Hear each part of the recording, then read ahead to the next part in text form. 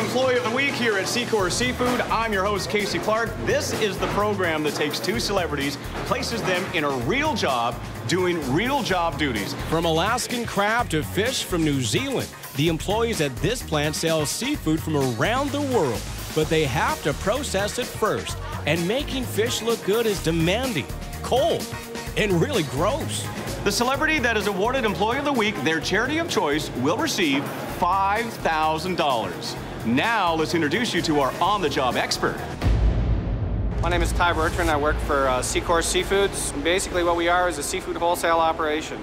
This is a job not everybody can do. It's a hard job, it's a stinky job. What I'm looking for mainly is employees that are going to follow direction. If we don't deliver on time, for instance, to certain people, we'll lose that customer within a week. I don't need people that are going to come here and prance around, be prima donnas. We don't have time for that. The only prima donnas here are the fish, maybe the lobsters. I'm a singer-songwriter, TV host. I kind of just do it all. I'm from northern Alberta, small town, and I had a dream being this singer and this writer, and somehow. Two hardworking celebrities, but do they have the guts to become the employee of the week? First thing I thought when I saw these celebrity chicks is, wow, And you guys are going to build a display. So this display has to pop out, has to grab that customer and say, buy me. I'm the oh best my seafood gosh, ever. we definitely need more time than this. Oh, where do I start? Where do I start? Three minutes is not enough time. Now, Carolyn, different strategy here. totally different. Right? She, she's more organized. Six, five, four, three, two, one. Time's up. Lay down the fish. Not enough time. I'm really hoping that Ty appreciates my meticulous display. Let's start with Miss Beverly. Miss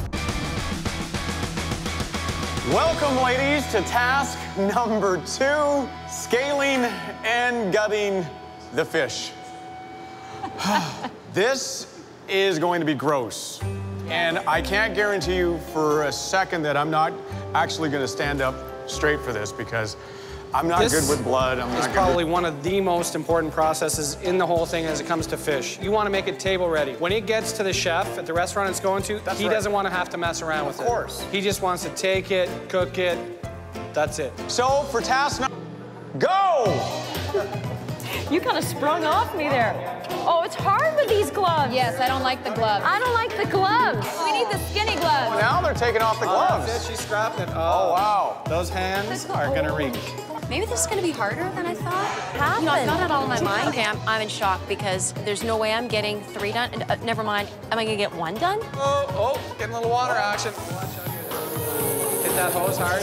We're going to be That is Ladies, welcome to task number three, the packaging of live lobsters for transport. So far, we don't have a clear leader in the competition, so this is the final task. So you have to have your game on, straight.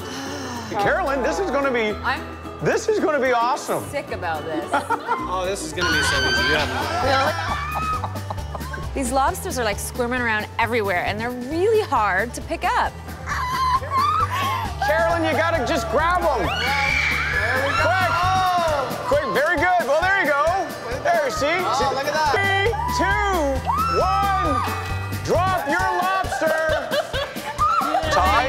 Your observations now overall?